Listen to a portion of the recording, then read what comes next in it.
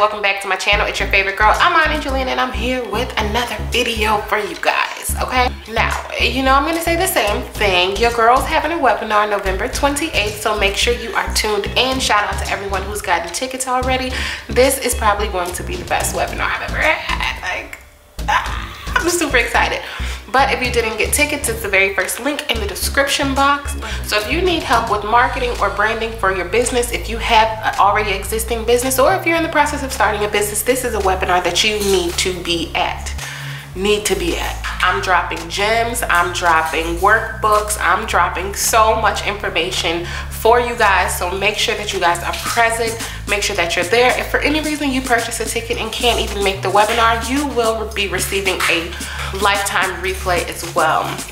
So make sure if you guys are interested that you do click the link just to even read more information pertaining to the webinar. But it's literally this freaking Saturday. So make sure you get your tickets before all the slots fill up because baby, they are filling, okay? But we're just gonna go ahead and get right into this video. So the reason that I'm making this video is because a lot of people still have, I call them basic questions, but realistically when you're in the process of starting a business you don't really know what to do uh, so i decided to just make a clear video pertaining to policies and things like that for you guys.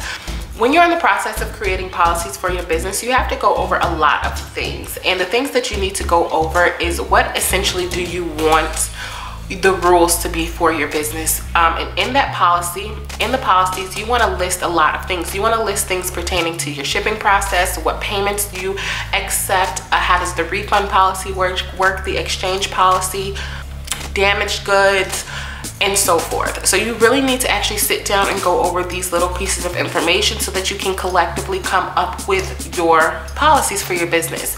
So as far as damaged or lost packaging, you need to make it be known, are you responsible for that? Or is that something that your customers would have to take up with the postal service since it was in their care at the time? You also need to go over um, how long your processing or shipping time is and when should your customers be expecting their packaging. You also need to put in things like your holidays and, and will shipping change during holiday seasons and so forth and this is just a really quick tip that is something that you should put in your policies is during the holiday time shipping estimated time frames could range and there's nothing you can do about it. I mean, put it in more professional words than that, of course, but you wanna make sure you put all that in your policies.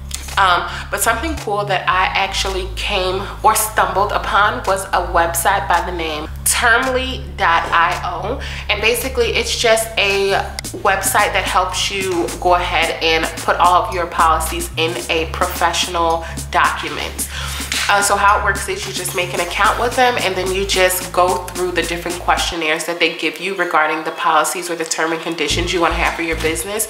They professionally put all, you know, put all of your wordings together and things like that so everything looks super good. And then from there you can go ahead and send that information to your website or you know copy that information over to your website. So then you can link it to your website. So termly is an amazing source that you guys can use if you're not too good with like wording things or if you don't exactly know what to put into your policies and things like that. This is an amazing website that you can use. Uh, you can use the free version of this. And then also like any other website they have different like paid options that you can utilize but the free option works perfectly fine. And it literally details everything from A to Z so you don't have to worry about wording anything. You literally plug in everything that you essentially want to be in your terms and conditions and then they just kind of like morph it all together if that makes sense but this is another cool option that you can use for your policies. But really quickly we're just to go over it one more time with your policies. You need to make sure you have these things. You need to make sure you have your processing and shipping time in your policies. You need to make sure you have your holiday estimated arrivals and if they're to be delayed or not in your policies. You need to also have if your shipping orders during holiday season during the holiday season or if your business is completely closed on national holidays like Christmas, Thanksgivings, things like that. Some other things that you need to put in there is if you, uh, you're responsible or if your company's responsible for any type of damaged goods or lost items during the whole transitioning process from uh, your business address to the customer and so forth.